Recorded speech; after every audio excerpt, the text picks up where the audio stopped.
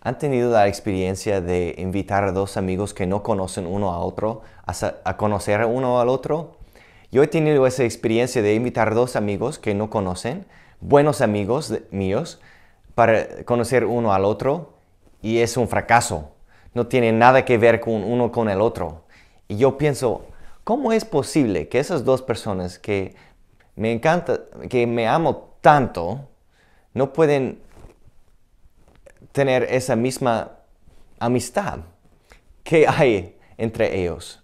Y tiene sentido que en un mundo donde tenemos menos y menos Jesús en común o un fe en común, que estamos más y más separados uno del otro.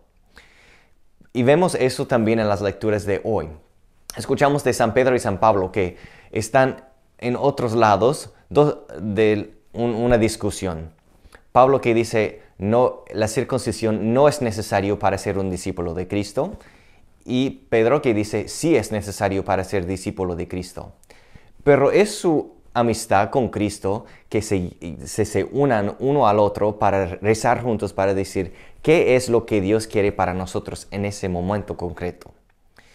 Y con ese amor que tienen juntos para Cristo, ellos pueden llegar a una conclusión iluminado por el, Espíritu y decir, ok, Dios está diciendo a nosotros en ese momento que no es necesario la circuncisión, pero esas cuatro cosas son necesarias en ese momento para ser un discípulo de Cristo, para que no damos escándalo a los demás, para que nuestro testimonio de nuestro amigo Jesús sea válido y sea un testimonio para todos.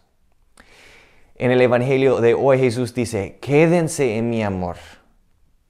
Es un palabras de desafío para nosotros hoy eh, en las relaciones que enfrentamos y las personas que enfrentamos hoy que tal vez sentimos esa, esa pelea, esa oposición.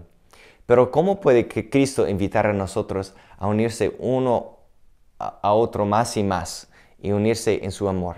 A llevar a esa persona, acercarse esa persona a Cristo, mientras que nosotros estamos acercando también a Él.